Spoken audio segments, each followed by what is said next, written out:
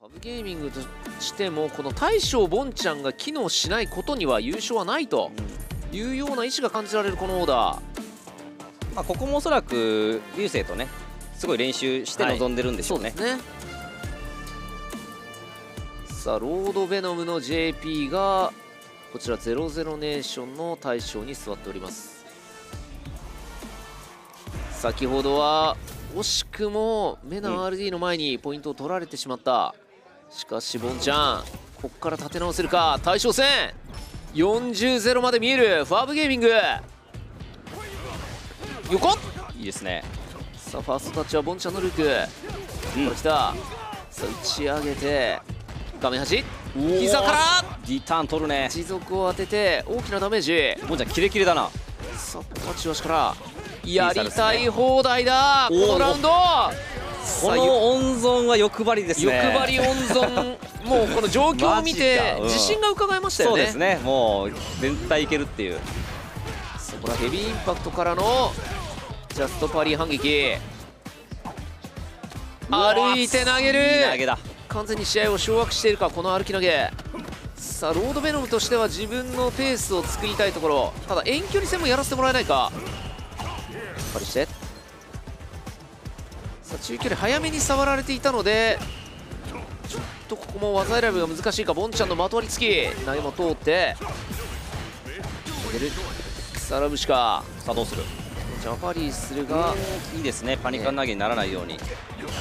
うわここでもジャスト。さあ中足にうまくジャストパリを決めていく。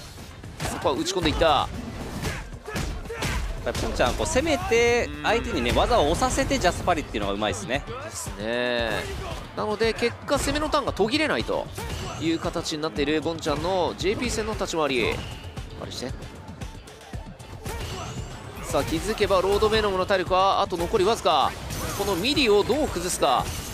さあ逃げージは試させたくないですが。うわーうますぎる。ここもジャストで大フラッシュナックルお仕置連き携に対するジャスパの精度が完璧ですね。完璧な内容。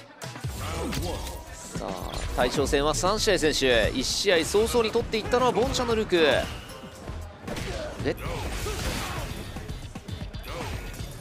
ぱねルークは突進力も非常にあるので、はい。JP 側としても遠距離戦をずっとするっていうのはかなり難しいキャラなんですようね結構横から触れてますよね。ラッシュの精度がすごくいいんで横から触りやすいですねやっぱり、持ちしゃがみ中盤ねじ込んでいく、う画面端まだ攻めは続く。すかし投げの形。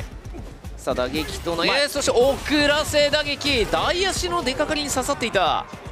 相手のねファジー行動に対してしっかりリターン取ってきましたねさあ早々にラウンドを取ってパリしながらさあロードベノムとしてはかなりやりにくそうなやりにくそうですね。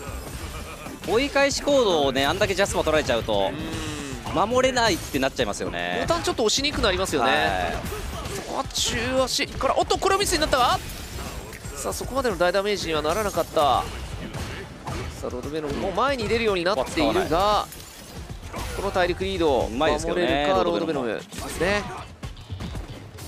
うわー最大さかリーサル？あさあしかもこれではないか。スタンまでなるほ見える状況。バーンアウトも近い。さあしかしバーンアウトを待たずして体力が持たなかった、これで2対0ボンちゃんルークの切れ味が鋭い。どこの攻めのやっぱり遅らせコパンとかもやっぱその JP のやっぱ非常に強いこう起き上がりジャストパリーと、はい。まあ、オーディアムネージェの逆二択みたいなのがあまり機能しないような攻めをしっかりしてますよね、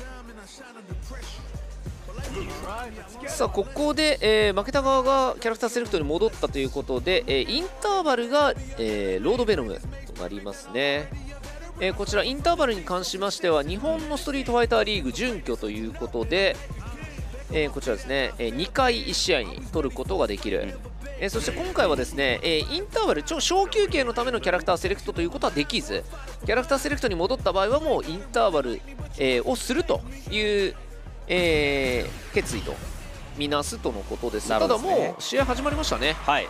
あここちょっとロード弁的にもやっぱ勝って、うん。なんとかね対象延長戦に持ち込みたいですよね。そうですねさあロードベノムインターバルを経て立て直すことはできるか？さあボンちゃん横から押し込んでくる、圧がある。下から？崩して。ここはうまく投げていく。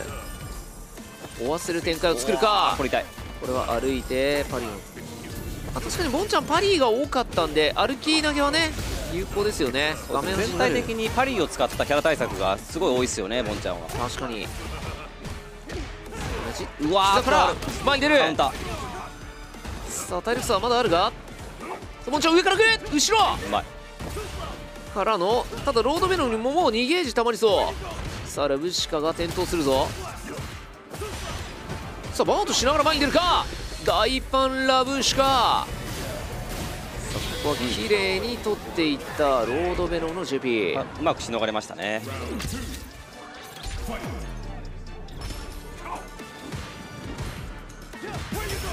フリ。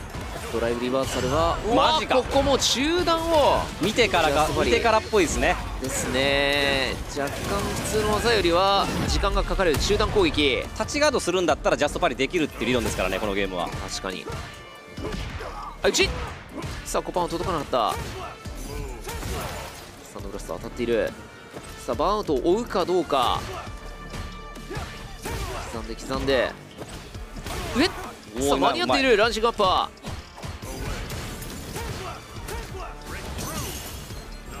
ー。さあのしのし歩いて。プレッシャーをかける。うおー！マジか。折り際。空中フラッシュナックル面白い当たり方になった。そして画面端は継続する。ドライブゲージの管理がすごいいいですね。インパクト。さあトリプルサプレッサーの形。お見事。自分は回復して相手はドライブゲージ回復させないような立ち回りをずっと続けてるのでボンちゃん有利な展開続いてますね。この辺りは非常にうまいドライブゲージ管理。さあこれでリーチはかかったまたもやキャラ対策だ。低空フラッシュナックルこれが効いている。8強 P タイクに勝てる選択肢ってことですね。ですね。ボンちゃんらしいマニアックな攻略。さあそして大きなダメージが入っている。しかしからさあペイルライダたださ CA になるんでね。ーそうですね。これでロードベノンはクリティカルアーツになった。おおクラス最後は DDT フィニッシュナイス。お見事完勝ボンちゃんルーク。さあ嫌なイメージ払拭しましたね。バキバキ仕上がってますね。うん。さあこれで、えー日本のファブゲーミングが、えーヨーロッパのうん。00ネーションに40対0完勝しましたやっぱり JP 対策がうん。いきましたね、来ましたね。日本のやっぱり JP 使いたちとの対戦と、うん。まあ、チームメイトの流星のとのキャラ対策。これがバッチリ決まりましたね